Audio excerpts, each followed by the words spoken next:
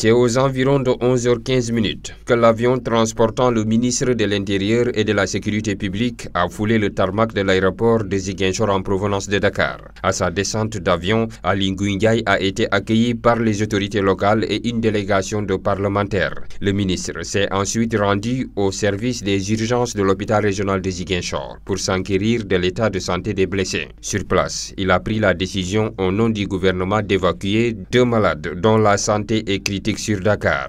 Après cette étape, le ministre s'est rendu tour à tour au quartier Nema 2 et Kandjalan pour présenter les condoléances du gouvernement et de toute la nation aux familles de victimes. Un geste salué par les familles de victimes.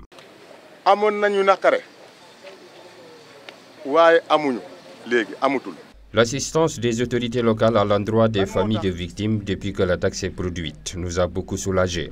Depuis l'évacuation des corps sans vie vers les morgues des hôpitaux et de tout ce qui s'en est suivi, qu'on a su que nous ne sommes pas les seuls dans la douleur, mais nous la partageons avec l'ensemble des Sénégalais.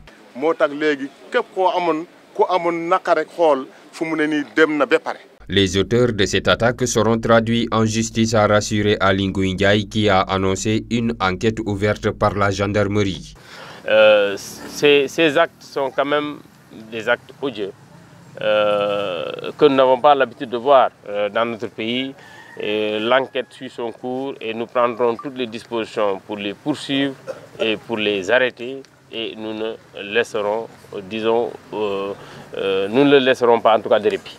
Cette attaque qui a fait un bilan de 13 morts et 6 blessés, dont deux dans un état grave, a motivé l'État du Sénégal à prendre des dispositifs particuliers pour la sécurité des personnes vivant dans cette partie sud du pays, afin que pareil incident ne se reproduise. Rappelez que le ministre a, au nom du gouvernement, remis à chaque famille de victimes une enveloppe financière d'un montant de 1 million de francs CFA.